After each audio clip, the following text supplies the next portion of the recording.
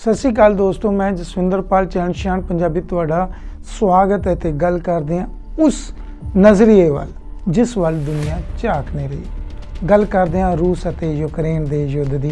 ਜੀ ਹਾਂ, ਉਸ ਨਾਲ ਪਰਮਾਣੂ ਸੰਕਟ ਹੈ ਦੁਨੀਆ ਤੇ, ਇੱਕ ਖੌਫ ਵੀ ਬਣਿਆ ਹੈ।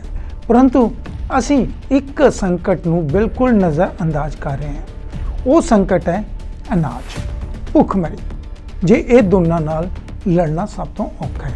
ਗੱਲ ਕਰੀਏ ਤਾਂ ਅਨਾਜ ਜਾਂ ਭੁੱਖਮਰੀ ਦਾ ਸੰਕਟ ਇੰਨਾ ਗੰਭੀਰ ਹੈ, ਅਸੀਂ ਉਸ ਨਾਲ ਲੜਨ ਤੋਂ ਕਈ ਵਾਰ ਬੇਅਸਰ ਹੋ ਜਾਂਦੇ ਹਾਂ, ਜਿਸ ਦਾ ਭੁੱਖਮਰੀ ਨਾਲ ਅਸਰ ਪੂਰੀ ਦੁਨੀਆ ਤੇ ਦੇਖਣ ਨੂੰ ਮਿਲ ਸਕਦਾ ਹੈ, ਕਿਉਂਕਿ ਰੂਸ ਇੱਕ ਬਹੁਤ ਵੱਡਾ ਸਾਧਨ ਹੈ ਸਰੋਤ ਹੈ।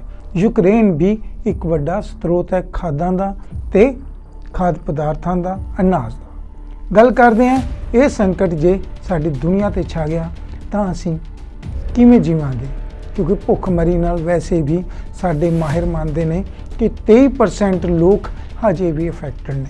ਗੱਲ ਕਰਦੇ ਹਾਂ ਅਫਰੀਕਾ ਦੀ, ਤਾਂ ਅਫਰੀਕਾ ਤਾਂ ਇਸ ਸਮੇਂ ਜੇ ਗੱਲ ਕੀਤੀ ਜਾਵੇ ਉਹਨਾਂ ਦੀ ਜਨਸੰਖਿਆ ਵੀ ਸਭ ਤੋਂ ਜ਼ਿਆਦਾ ਭੁੱਖਮਰੀ ਵੀ ਹੈ ਤੇ ਹਿੰਦੁਸਤਾਨ ਵੀ ਇਹ ਤੋਂ ਬਚਿਆ ਨਹੀਂ। ਗੱਲ ਕਰਦੇ ਹਾਂ ਤੇ ਜੇ ਦੂਸਰੇ ਦੇਸ਼ਾਂ ਵੱਲ ਵੀ ਜੇ ਇਹ ਸੰਕਟ ਪੂਰੀ ਦੁਨੀਆ ਤੇ ਆ ਜਾਂਦਾ ਹੈ, ਤਾਂ ਫਿਰ ਕੀ ਦੇਖਣ ਨੂੰ ਮਿਲੇਗਾ?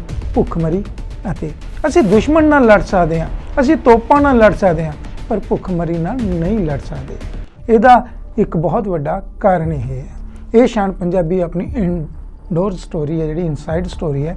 ਇਹਦੇ ਵਿੱਚ ਕੁਝ ਤੱਥ ਸਾਹਮਣੇ ਲੈ ਕੇ ਆਇਆ, ਜਿਹਦਾ ਪੂਰੇ ਵਿਸ਼ੇ ਵੱਲ ਕੋਈ ਧਿਆਨ ਨਹੀਂ। ਗੱਲ ਕਰਦੇ ਹਾਂ ਕਿ ਅਨਾਜ ਅਨਾਜ ਦਾ ਮੁੱਖ ਸਰੋਤ ਜਿਹੜੇ ਪੈਦਾ ਹੁੰਦੇ ਨੇ, ਉਹ ਰੂਸ ਅਤੇ ਯੂਕਰੇਨ ਵਿੱਚ ਹੈ।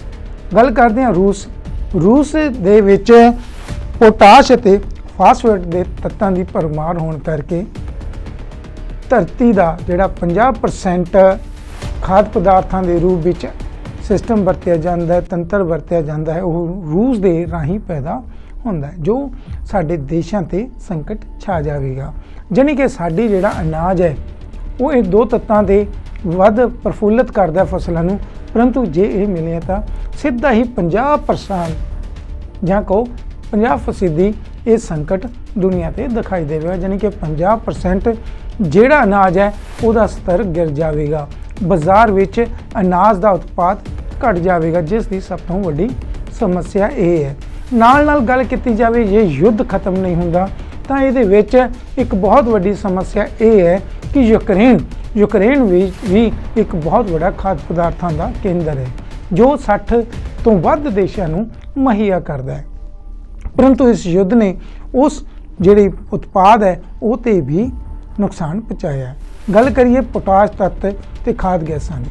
ਹੁਣ ਪ੍ਰਤੀਬੰਧਾਂ ਦੀ ਗੱਲ ਕੀਤੀ ਜਾਂਦੀ ਹੈ ਕਿ ਰੂਸ ਤੇ ਪ੍ਰਤੀਬੰਧ ਲਾ ਕੇ ਅਮਰੀਕਾ ਵਾਹਵਾਈ ਕੱਟ ਰਿਹਾ ਜਾਂ ਨਾਟੋ ਦੇਸ਼ ਜਾਂ ਫਰਾਂਸ ਜਾਂ ਜਰਮਨੀ ਵਰਗੇ ਦੇਸ਼, ਜਾਪਾਨ ਵਰਗੇ ਦੇਸ਼ ਉਸ ਤੇ ਰੋਕ ਲਾ ਰਹੇ ਨੇ ਪਰੰਤੂ ਸਮੱਸਿਆ ਇਹ ਹੈ ਕਿ ਖਾਦ ਦੇ ਦੀ ਗੱਲ ਛੱਡੋ, ਗੈਸ ਅਤੇ ਜਿਹੜੇ ਪੈਟਰੋਲ ਨੇ ਥੋ ਗੈਸ ਹੈ, ਉਹ ਵੀ ਪ੍ਰਭਾਵਿਤ ਹੋਣਗੇ ਕਿਉਂਕਿ ਮੁੱਖ ਕੇਂਦਰ ਹੈ ਜੋ, ਉਹ ਸਪਲਾਇਰ ਰੂਸ ਹੈ, ਜਿਸ ਕੋਲ ਇਹ ਤਾਕਤ ਹੈ।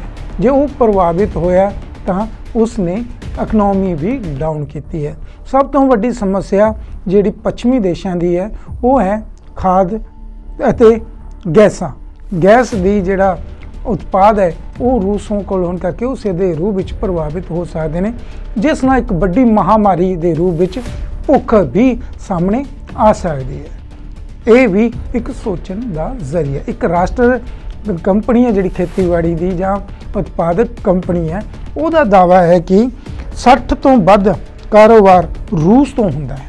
ਫਸਲਾਂ ਦਾ ਅਨਾਜ ਦਾ ਜਿਹੜਾ ਉਤਪਾਦ ਹੁੰਦਾ ਹੈ, ਉਹ ਰੂਸ ਤੋਂ ਹੁੰਦਾ ਜਿਹਦਾ ਮਤਲਬ ਸਿੱਧੇ ਰੂਪ ਚ ਕੋ 60 ਦੇਸ਼ ਸਿੱਧੇ ਹੀ ਪ੍ਰਭਾਵਿਤ ਹੁੰਦੇ ਨੇ ਜੇ ਰੂਸ ਤੇ ਕਟੌਤੀਆਂ ਲੱਗਦੀਆਂ ਨੇ ਪਰੰਤੂ ਯੁੱਧ ਦਾ ਇਹ ਜਿਹੜਾ ਅਸਰ ਹੈ ਇਹ ਬਹੁਤ ਵੱਡਾ ਸਵਾਲ ਪੈਦਾ ਕਰਦਾ ਹੈ ਕਿ ਇਸ ਆਵਾਰ ਤੋਂ ਅਸੀਂ ਕਿਵੇਂ ਨਿਕਲਾਂਗੇ ਤੇ ਦੂਜਾ ਨਾਲ ਨਾਲ ਕਿ ਜੇ ਸੱਚਮੁੱਚ ਅਨਾਜ ਸੰਕਟ ਆ ਗਿਆ ਭੁੱਖਮਰੀ ਫੈਲ ਗਈ ਫਿਰ ਇਸ ਦੁਸ਼ਮਣ ਦਾ ਜਿਹੜੀ ਇਹ ਸਮੱਸਿਆ ਹੈ ਇਹ ਦੁਸ਼ਮਣ ਦਾ ਹੱਲ ਕੌਣ ਕੱਢੇਗਾ ਇਹ ਇਸ ਬਾਰੇ ਆਪਣੀ رائے ਦੇਣਾ ਨਾ ਭੁੱਲਿਓ ਤੁਸੀਂ ਦੇਖਦੇ ਰਹੋ ਚੈਨਲ ਸ਼ਾਨ ਪੰਜਾਬੀ ਮਨ ਪੰਜਾਬ ਦਾ ਧੰਨਵਾਦ।